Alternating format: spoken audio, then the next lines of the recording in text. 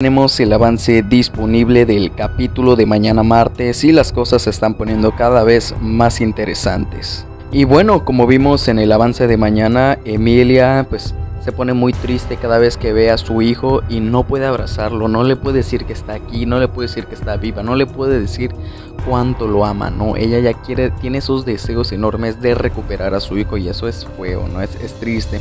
Por otro lado vemos que Roberta, la patrona, le dice a Leonardo que Sara está embarazada, ¿no? Y que haga algo, algo al respecto, ¿no?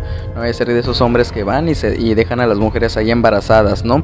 Que ella no lo crió de esa manera. Asimismo vemos que Leonardo, pues ya vimos que la Roberta, ¿no? Le empezó a decir esas palabras y Leonardo cae. Y ahí va a decirle a Sara que quiere que vivan juntos, que tengan prácticamente una familia, ¿no? Para que el bebé pueda, pues, tener eso, ¿no? Una familia, algo bien, ¿no? Lo que todo niño necesita, ¿no?